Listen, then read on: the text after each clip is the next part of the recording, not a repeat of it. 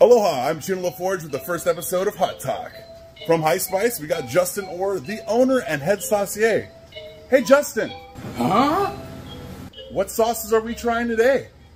All right, we're trying four sauces from Oahu. We got Hawaiian Hotties, Spicy Teriyaki, New York, Bayou Gotham. It is called Zing Dynasty. Really excited for that one. And steak sauce from Heatley's Hot Sauce. We have a house sauce from a friend, a nephew of a friend called Claxton. It is a bourbon, vanilla, reaper, fermented sauce. We have a sneak peek of our next sauce of the month, which will be dropping this Tuesday. So hope you enjoy those.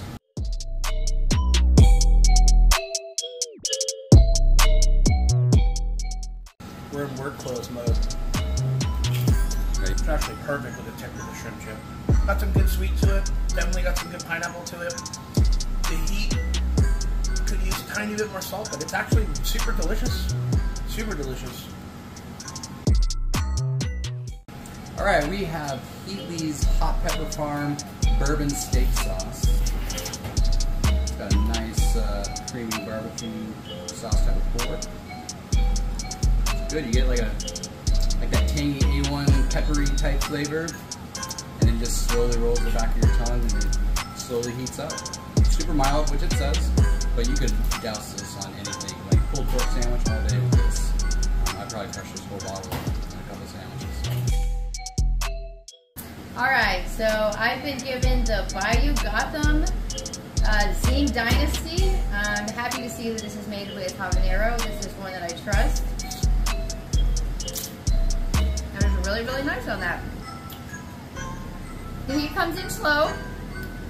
Um, I think I'm tasting kind of some teriyaki, maybe a little bit of soy sauce, but delicious. I would definitely put this with some chicken, maybe.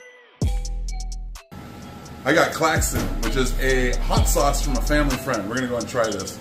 It is vanilla, bourbon, and Carolina Reaper pepper, so it's gonna be hot. You know that.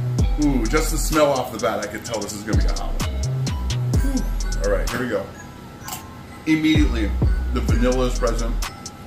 I'm getting the bourbon notes. That Reaper is not too far behind. It is on its tail. Coming in hot. If you don't know about Reapers, they have a flash heat that hits you immediately and then kind of dissipates pretty quickly. So it's more of a bite for bite experience. Good job, Claxton. Hey, I'm Scott, and I'm here. We're gonna try our newest sauce of the month, rolling out next week. Looking at it already, it's nice and thick. It's sweet. It's got some salt to it. The heat is slowly rising. It, will stay a while, uh, which I like personally. I have a pretty decent heat tolerance. It starts at first and then builds and stays a long while.